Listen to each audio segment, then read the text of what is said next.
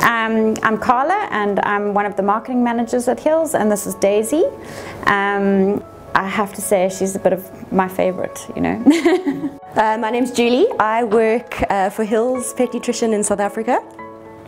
And this little guy is our newest addition to the family. Um, he's a golden retriever puppy named Joey and he's six months old. Hi, my name is Michelle. I work for Hills Pet Nutrition and I've got Hagrid with me today. I know this is so exciting. I know, I know. I'm Kim Johnston and I'm marketing coordinator for Hills. Um, I live in Hout Bay and which was where we got Max from. He was adopted from a charity and organization called Hout Bay Pets.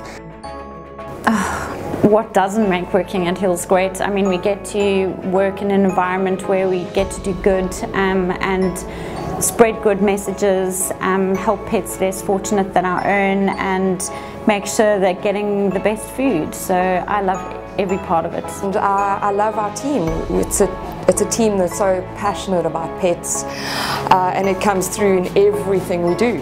The thing that's great about working at Hills is that it, it feels good to be able to work on a product that really transforms pets' lives and people's lives so that you know we're working every day but at the same time we feel like we're bringing joy to people and to their pets and so uh, at the end of it all it, it's just very rewarding.